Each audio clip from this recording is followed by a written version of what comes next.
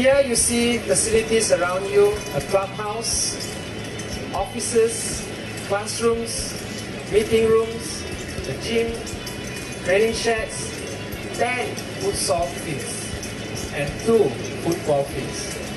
I've not seen anywhere in Singapore where you put them all together in one place in such a short time.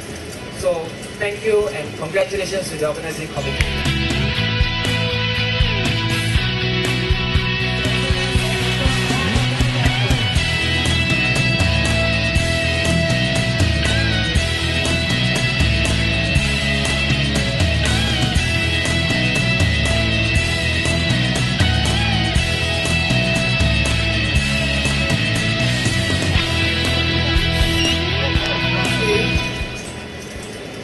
In my conclusion, let me also say that what you all are witnessing before you is a legacy.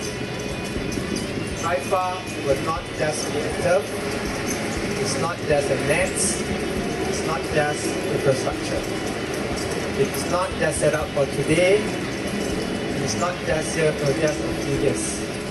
My sincere hope is that this platform continues to be replicated and will outlast the decade to groom generations of our young talents and give hope to our society. And today is therefore just a beginning. This completion does not mean our work is done, unfortunately. It's only the beginning and I hope that all of us are faced up to the challenges ahead of us.